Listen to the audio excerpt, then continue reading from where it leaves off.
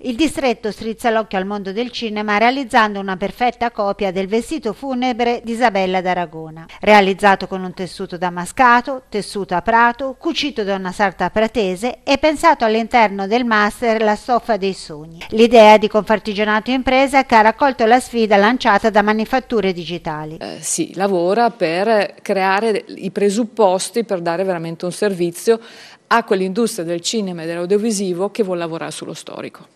È stato realizzato un prototipo, ma il distretto è pronto per la produzione. Abbiamo dimostrato la capacità di realizzare tutto quello che è stato il saper fare degli anni passati, dei secoli passati, riprodotto in chiave moderna. Il mercato di riferimento è un mercato di eccellenza. Una riproduzione fedele che ha visto coinvolto gli studenti del master che hanno riprodotto i disegni sul CAD, partendo da un'accurata ricerca storica. L'analisi del tessuto è cominciata a Napoli, mentre, rest mentre restauravano l'abito di Isabella io sono andata ad analizzare il tessuto.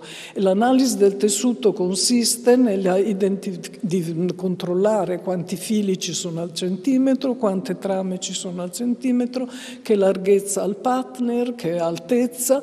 La realizzazione dei 12 metri di tessuto è stata affidata alla tessitura Fratelli Poli. Bisogna mettere, eh, creare un disegno un, eh, un, disegno tessile che poi praticamente adattarlo alla propria messa in telaio.